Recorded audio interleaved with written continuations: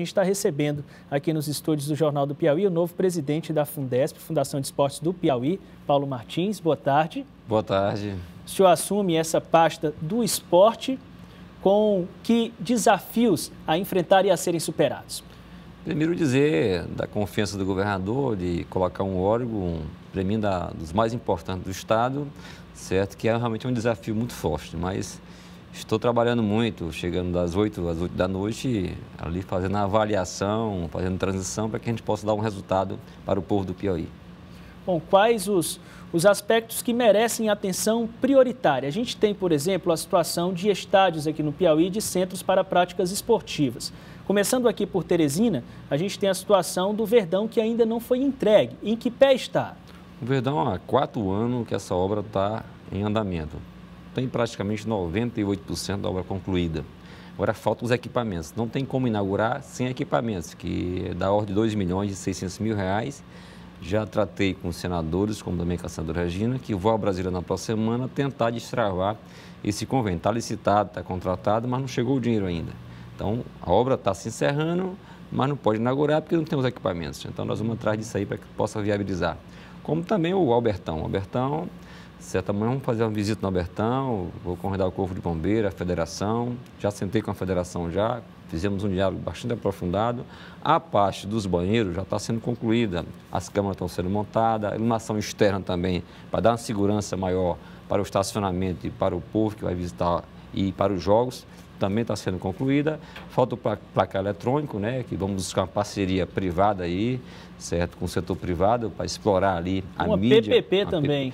Não é que seja uma PPP, é uma coisa mais leve, mais, mais, mais suave. Alguém que queira ali é, ter a sessão do espaço para colocar um, um painel de LED, para explorar a mídia, nós vamos autorizar a colocar sem custo nenhum para o Estado, mas ele explorar a mídia. Aí tem aí a Ambev, tem através da publicidade, tem né? publicidade, né? É uma parceria para agilizar esse processo de abrir o estádio e também trabalhar as rampas, né?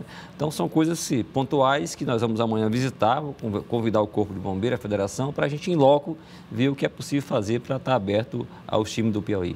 Nós temos agora, por exemplo, um time que está na final da, do primeiro turno do Campeonato Piauiense, o Altos, e que não pode mandar seus jogos em casa, está tendo que mandar em Teresina por falta de um estádio. E o interior, presidente?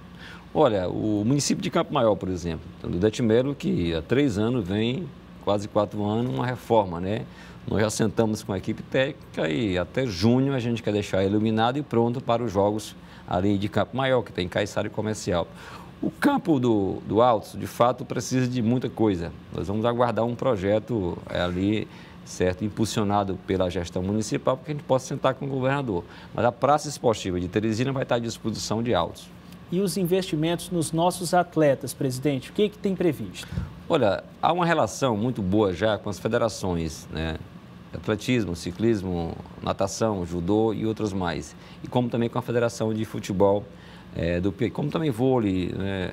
Ali na, no espaço do Verdão, a ideia, a ideia as pessoas terem um endereço. Cada federação vai ter um espaço para ter um endereço que possa se comunicar com órgãos de parceria com o setor privado, como com o setor público também. É para quem não conhece, lá no, no Albertão, ou, desculpa, lá no, no, no, Verdão, foi feita uma estrutura de diversas salas que vai se tornar um complexo um de complexo federações esportivas é. lá, né? E aí a gente está impedido de trazer para cá uma seleção de futsal, uma seleção de vôlei, para estar aqui presente e, e, alegrar o povo do Piauí, porque não tem um espaço. O Verdão, o Verdão é adequado para esse tipo de atividade. E aí nós vamos, é, já sentei com o Cesarino também para discutir isso, mas vamos trabalhar também o social, uhum. a parte social, que eu acho que é a parte mais importante da Fundesc. A ideia é que a gente crie um programa que esteja a marca do governo ali integrada com saúde, educação e as famílias em cada município.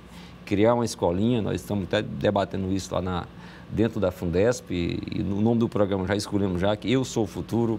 Você imagina uma criança pobre, oriunda de uma escola pública de 7 a 10 anos de idade, de 11 a 14, receber todo um equipamento, receber ali um colete, uma farda com calção, com meio, uma bola de couro, para ter ali um orientador, educador, educador físico, ou então um ex-jogador de futebol profissional que esteja ocioso, que nós vamos tratar com ele ali. A ideia é que a Fundesp tem uma marca é, do governo em cada município, criar a condição de ter ali 100, 50 a 100 alunos, ali recebendo instruções e orientações ali condicionando a presença na escola também, como também condicionando certo acompanhamento do PSF e acompanhamento do pai e da mãe, pelo menos uma vez na semana, ali acompanhando ele na prática esportiva. Esse é o nosso projeto social que vamos levar para o governo do Estado para criar a condição de ter pelo menos 20 mil crianças sendo assistidas pela Fundesp.